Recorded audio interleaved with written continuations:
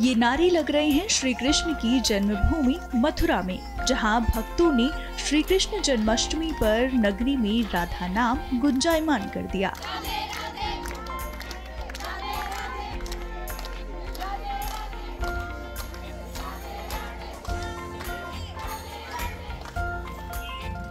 गौरतलब है कि मथुरा श्री कृष्ण की नगरी है ऐसे में हर बार की तरह इस बार भी जन्मोत्सव धूमधाम से मनाने की तैयारी है। जन्माष्टमी के खास दिन पर शहर को तरह तरह से सजाया गया है। वहीं भक्त माथे पर तिलक किए राधा कृष्ण की भक्ति में डूबे दिखाई दे रहे हैं। मथुरा नगर निगम के मेयर ने बताया कि श्री कृष्ण जन्मोत्सव पर किन कार्यक्रमों का आयोजन किया जाने वाला है।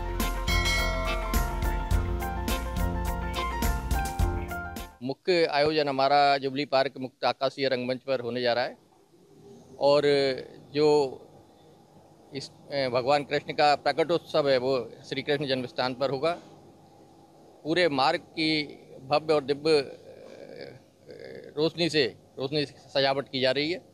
सभी चौराहों पर सांस्कृतिक कार्यक्रम और बाज़ारों में सांस्कृतिक टोलियों के द्वारा देश के विभिन्न हिस्सों से जो प्रमुख कलाकार हैं, उनके द्वारा श्री कृष्ण के चरित्र की लीलाएँ, लीलाओं के माध्यम से आने वाले श्रद्धालुओं को ये एहसास कराया जाएगा कि वह श्री कृष्ण की नगरी में आ रहे हैं, आए हैं। और यहाँ से जब जाएँगे वापस तो सुखद एहसास लेकर जाएँ, ऐसा मथुरा वृंदावन नगर निगम का पूरा प्रयास है। साथ ही मेयर ने जानकारी दी कि आज के खास दिन के लिए उनकी क्या तैयारी है, जिससे यहाँ आए श्रद्धालुओं को किसी तरह की कोई परेशानी न हो। पिछली बार हमारे मथुरा में लगभग 50 लाख श्रद्धालु आए थे जन्माष्टमी के अवसर पर।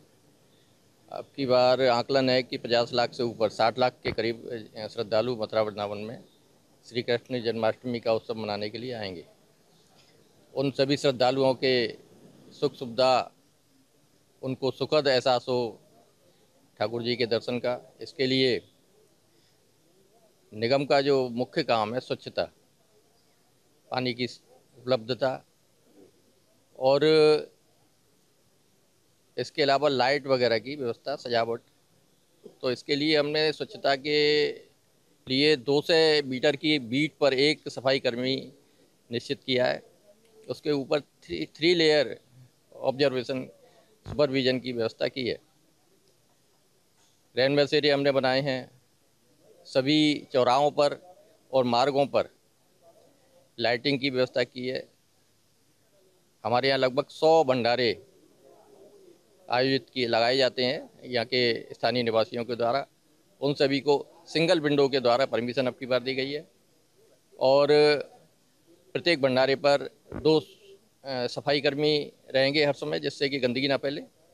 इसके अलावा प्लास्टिक फ्री जन्माष्टमी हम मनाने जा रहे हैं और सभी भंडारा संचालकों को से आग्रह किया गया है कि वह निरंतर इस बात का प्रचार प्रसार करते रहे माइक के माध्यम से कि कहीं भी श्रद्धालु गंदगी ना फैलाएँ। वो डस्टबिन अपने भंडारे के आसपास रखेंगे।